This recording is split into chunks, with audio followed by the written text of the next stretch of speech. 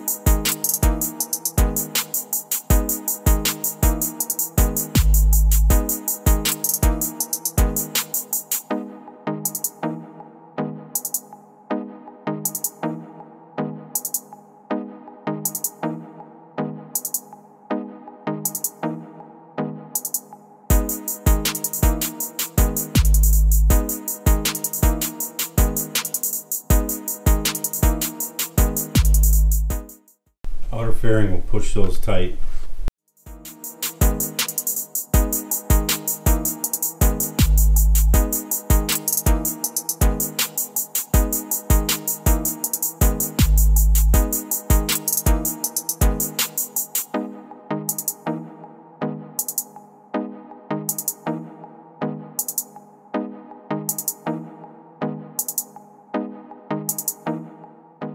So I intended to show you how to install this one, um, but after reading his paper, it looks like that might be a proprietary thing.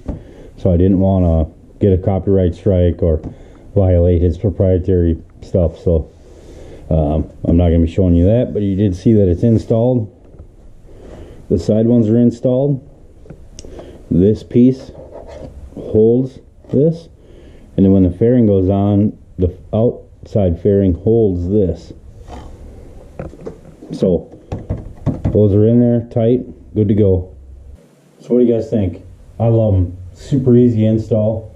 Um, again this one I didn't show you the install because this is proprietary. I didn't want to fuck with any trademark or whatever he has on it. So I didn't want to put this video this part this install up. Um, but awesome.